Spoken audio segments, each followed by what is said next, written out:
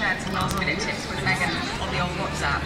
Um, but no, it's going to look different, it's going to look dramatic, but she, as an actress, I'm sure she'll be drawing on all her composure and poise and uh, experience in that in order to make it up to the organ screen, which is where the Prince of Wales will meet her and accompany her. And another point of difference while we're waiting here, because it's worth underlining this well, if people are expecting the Archbishop of Canterbury or Dean of Windsor to be delivering the address and the advice, well, this is going to be a new departure because we're going to have the head of the Episcopal uh, Church in, in America and uh, Bishop Michael will be delivering that address. That'll be interesting. It, it will. I mean, in effect, taking a slightly backseat role.